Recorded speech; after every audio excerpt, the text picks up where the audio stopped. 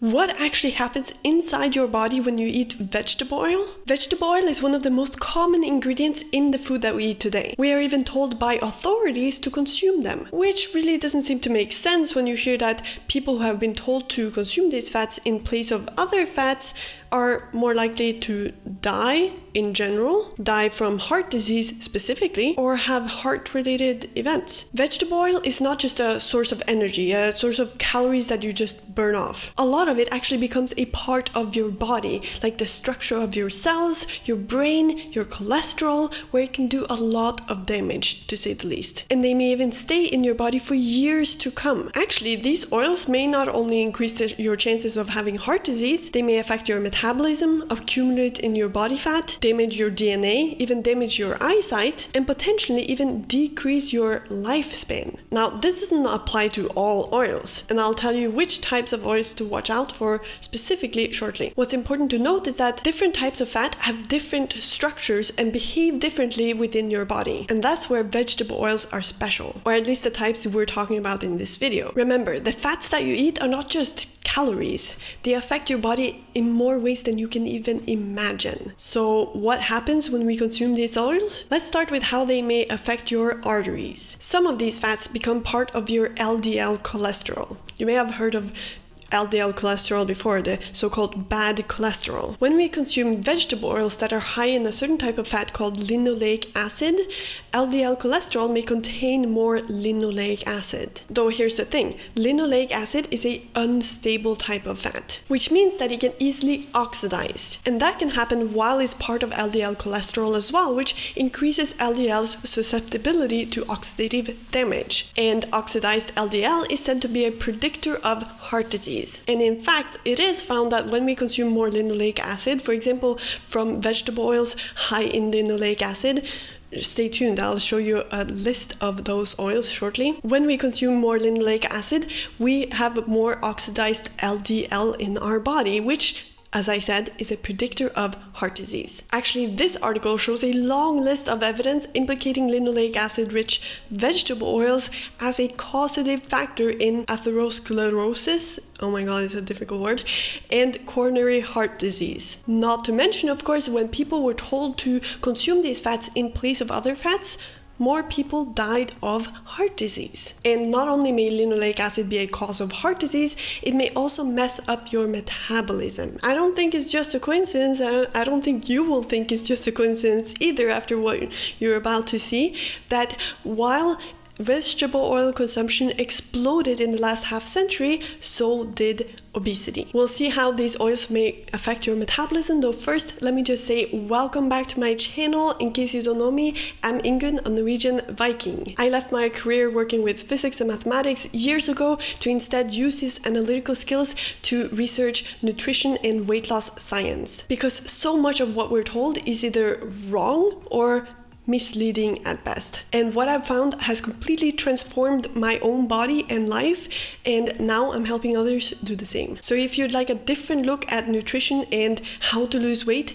based on science and common sense, then make sure you're subscribed to my channel because I have lots more tips and truth coming your way. Now, it's important to distinguish between the different types of fat. Like I said, it's not all vegetable oils that may be harmful. What's especially concerning are those that are high in what we call polyunsaturated fatty acids, or PUFAs for short, because those fats are the most unstable types of fat, like we talked about earlier. Linoleic acid, for example, is a type of PUFA. Again, don't worry, I'll show you a list of the oils that have high PUFA content shortly. So, we have seen that the consumption of vegetable oils have increased dramatically. And in fact, our bodies, our own bodies, are proof that we are consuming a lot of these types of fats because these fats accumulate in our bodies. Remember, these fats may stay in our bodies for years to come. And not only that, it's found that obese people have more PUFAs in their body fat percentage wise than leaner people. And note that that's due to their diet. The amount of PUFAs we have in our fat tissues correlates with how much PUFAs we consume. So if obese people have more PUFAs in their body fat, it means that their diets are higher in PUFAs. Actually, one study said that previous reports suggest that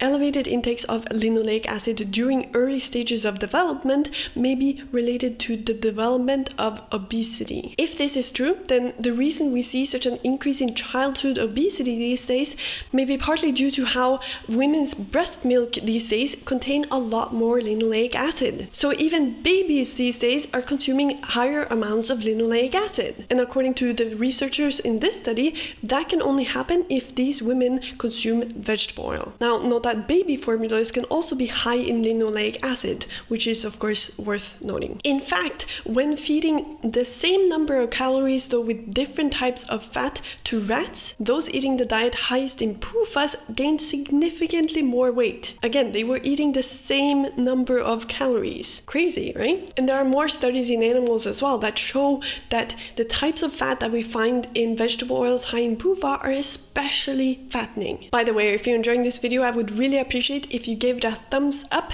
and make sure you follow me on Instagram at Viking Ingunn for lots more tips. Now, how exactly this happens is very complex and involves a lot of different processes within the body. The one of the most important parts of our metabolism is our mitochondria, where we produce energy. Without our mitochondria, we don't burn calories. It's that important. And because linoleic acid can be incorporated into a structural part of a membrane inside the mitochondria called cardiolipin, where it can oxidize, it can lead to mitochondrial dysfunction and disruption of ATP production, which again is needed in order to burn calories. And that's just one of the ways PUFAs can cause problems with our metabolism. Actually, when these fats oxidize, they may produce something we refer to as OXLAMs for short, which are toxic substances. One of them is called HNE and is found to affect metabolism to favor storage of fat. When we heat vegetable oil, for example during cooking, these fats are more, even more likely to oxidize and produce these toxic substances, which is one of the reasons why fried foods can be especially harmful, because they are usually fried in vegetable oils that have been heated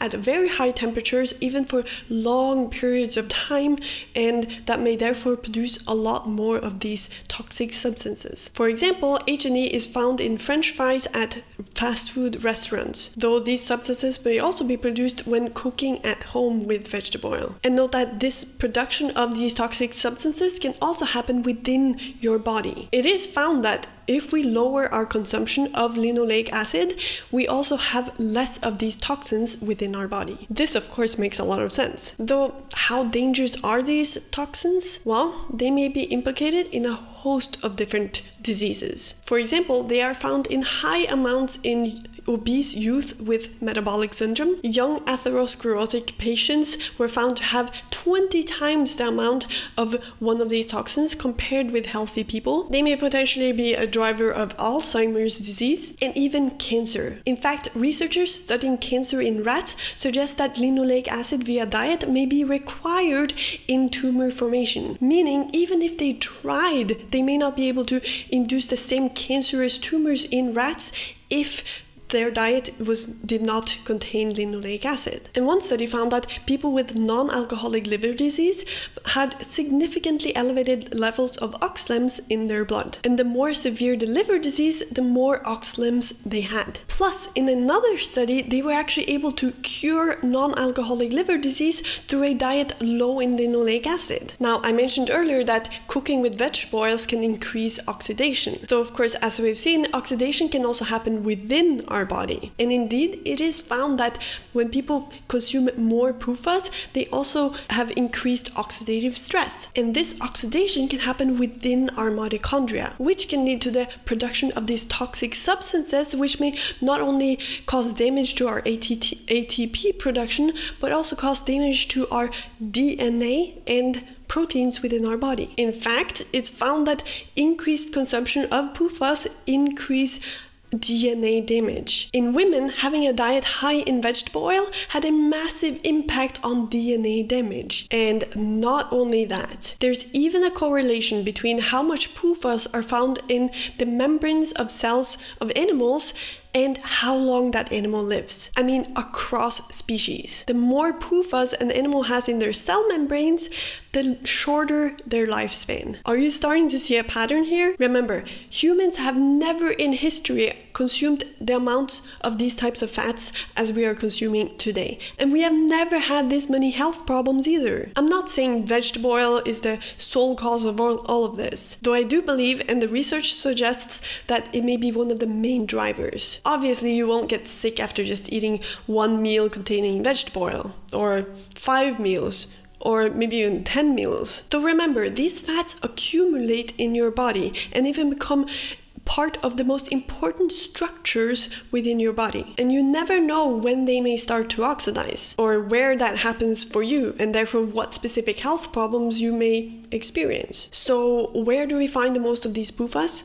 What vegetable oils should we pay particular attention to? In general, the types of fat we humans have been consuming for a long, long time are the healthiest kinds of fat. Makes a lot of sense if you think about it. Vegetable oils made from seeds are the ones I'd avoid. Here's a list of those I would watch out for. And note that these oils are everywhere these days. In all sorts of packaged foods and beverages, even in so-called healthy foods or healthy alternatives. And they're also the main kind of fat used in restaurants. Plus, not only do we consume a lot of these fats, we also soak our skin in them with lotions, makeup, sunscreen, even shampoos often have vegetable oils in them. And of course, what we put on our skin can get absorbed into our bodies as well. Now, I'm not saying we should avoid these vegetable oils at all cost. We need to use common sense here. Our bodies are designed to deal with a certain amount of oxidation, for example. We're not these fragile creatures designed to live in a glass bubble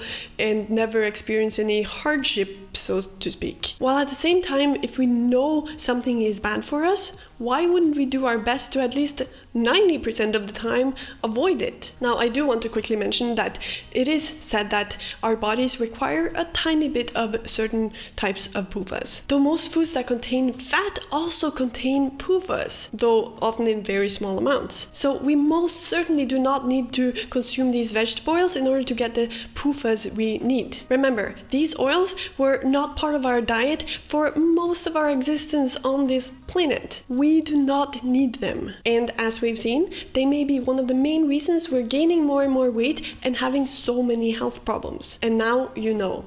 And now you need to decide how much you're willing to expose yourself to these vegetable oils. It's never about that one time you ate fries on vacation, or that one time while you were visiting a friend and you found out they, that they used sunflower oil, oil to cook your dinner. While at the same time, if you don't pay attention and intentionally try to avoid these oils, you may end up eating a lot of them because, like I said, they are everywhere. So, of course, as always, the decision is yours. I just prefer to make these decisions knowing the actual evidence because even though vegetable oils are so, so common in our foods today, most people have no idea how they actually affect our bodies. So that's why I wanted to share this with you. And if you know someone who needs to see this, I hope you'll share this video with them. Now, when it comes to weight loss, vegetable oil is just one factor. There's so much more to consider in order to optimize your metabolism and so that you can lose weight more easily. And if you haven't already, you'll want to check out this video right here, which I'll link to below